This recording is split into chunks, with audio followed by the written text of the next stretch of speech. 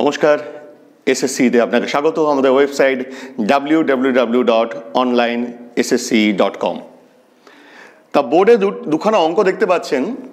প্রথম অঙ্ক হলো how many numbers between two hundred and seven hundred divided by six আর দ্বিতীয় অঙ্ক দেখতে পাচ্ছেন how many numbers between three hundred and eight hundred are divisible by six including both number এই ধরনের অঙ্কগুলো কেন্দ্রীয় সরকারের পরীক্ষায় বারবার আপনারা নিশ্চয়ই দেখতে পেয়েছেন। খুব সোজার একটা রুল আছে, যার মাধ্যমে এই অঙ্কগুলো আপনি সহজেই করতে পারবেন।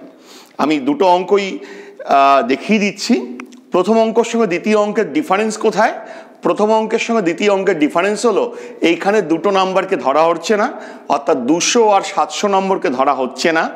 কিন্তু এক্ষেত্রে তিনশো আর আটশো দুটো নম্বরকেই ধরা হচ্ছে। তাহলে এই দুখানা অঙ্ক কীভাবে করব? পরীক্ষায় এলে তা আজকে আমরা দেখে নিই।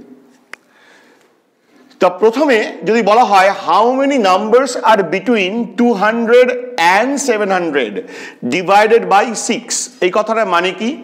এই কথাটার মানে হলো যে দুশো থেকে সাতশো মধ্যে কতগুলো সংখ্যা আছে যেইগুলো ছয় দ্বারা বিভাজ্য? ছয় দ্বারা কোন কোন সংখ্যা বিভাজ্য? যেমন ছয়, বারো, আঠেরো এরকম করতে করতে যদি আমি দুশোর ওপরে নাম্বারগুলো যাই, সেই নাম্বারগুলো কোনটা ছয় দ্বারা বিভাজ্য সেটা আপনাকে বলতে হবে। যেমন যদি বলি দুশো চার দুশো চার কি ছয় দ্বারা বিভাজ্য? দেখা যাক।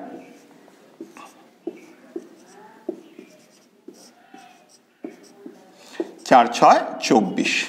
একদম ঠিক। দুশো ছয় নাম্বারটা চার দ্বারা বিভাজ্য। তাহলে প্রথম সংখ্যাটা হবে দুশো চার, তারপরের সংখ্যাটা হবে দুশো দশ। এভাবে আপনাকে বার করতে হবে। কিন্তু এভাবে যদি আপনি বার করেন, সাতশো পর্যন্ত অনেকটা সময় চলে যাবে। তাই জন্য এর জন্য একটা শর্ট রুল আছে। কি করবেন? দুটো স্টেপে করতে হবে। Step number one step number one আপনাকে করতে হবে কি? এই দুটো নাম্বারকে বিয়োগ করে দিন। কিচ্ছু করতে হবে না, দুটো নাম্বারকে বিয়োগ করে দিন। সাবস্ট্র্যাক্ট যাকে বলা হয় মাইনাস করে দিন। অর্থাৎ আমরা পেলাম ফাইভ হান্ড্রেড পাঁচশো নাম্বার পেলাম। Step number one complete step number two step number টুকে করতে হবে কি? এই নাম্বারটাকে আপনি ছয় দিয়ে ভাগ করে নিন। ঠিক আছে? ছয় দিয়ে ভাগ করে নিন।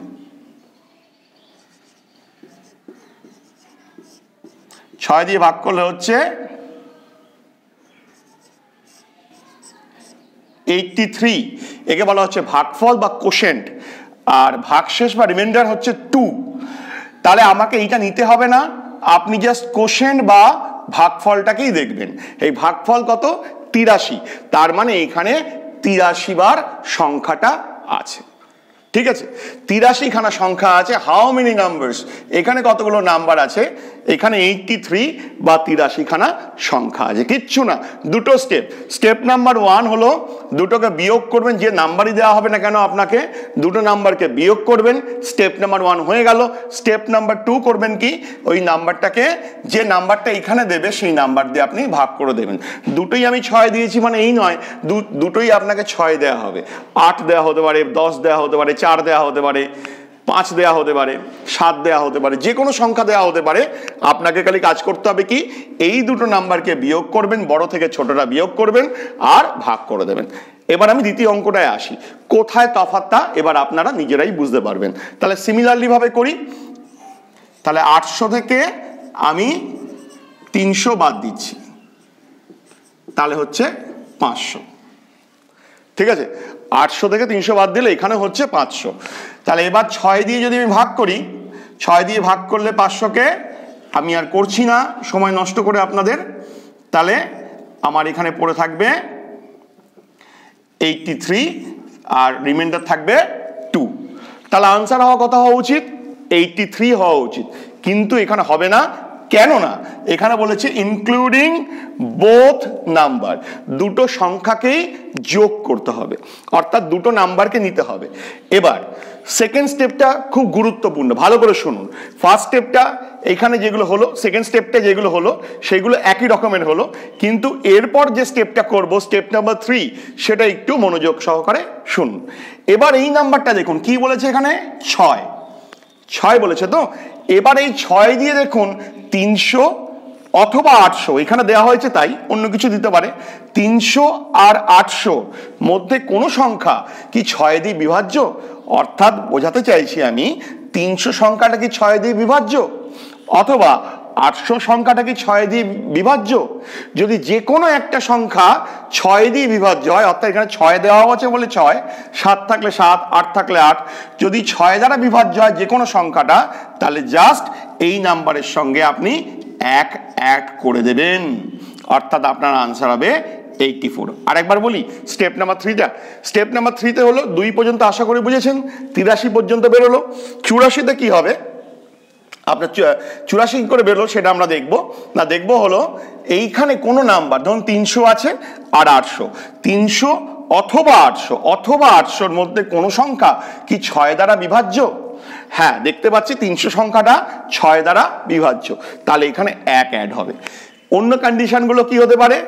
দেয়া হলো, ধরুন এখানে তিনশো, এখানে আটশোর জায়গা দেয়া হলো নশো। দুটো সংখ্যায় ছয় দ্বারা বিভাজ্য, তাতেও এক অ্যাড হবে। কি বললাম? তিনশো থেকে নশো পর্যন্ত কত সংখ্যা? কি হলো? দুটো সংখ্যায় কি? ছয় দ্বারা বিভাজ্য।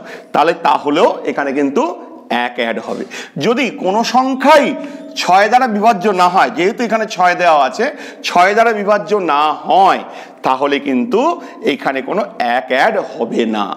এইখানে ইনক্লুডিং বোথ নাম্বার দেওয়া থাকলেও এক অ্যাড হবে না। তাহলে আপনাকে কি দেখতে হবে? স্টেপ নাম্বার থ্রিটা গুরুত্বপূর্ণ। যদি দুটো সংখ্যাকেই ধরা হয়, তখন দেখবেন কোনো একটা সংখ্যা, যে দুটো নাম্বার বলে দিয়েছে, কোনো একটা সংখ্যা কি এই সংখ্যাটা দ্বারা বিভাজ্য? যদি হয় তোমার আপনার উত্তর হয় হ্যাঁ। তো এক অ্যাড করবেন। যদি উত্তর হয়, কোনোটাই বিভাজ্য নয়। তাহলে এক অ্যাড করবেন না। সেটাই আনসার হয়ে গেল। তাহলে প্রথম আনসারটা আনসার হবে এইটটি থ্রি পরেরটা আনসার হবে এইটটি ফোর আশা করি বোঝা গেল। যদি তাও না বুঝতে পারেন, আমাকে কমেন্ট করবেন। কমেন্টে আমি আপনার উত্তর দেওয়ার চেষ্টা করব। আপনি দেখছেন আমাদের চ্যানেল এসএসসি কম্পিটিটিভ এক্সামের যে চ্যানেল দেখছেন, এটা দয়া করে সাবস্ক্রাইব করবেন আর বেল বাটনকে প্রেস করে দেবেন। ধন্যবাদ।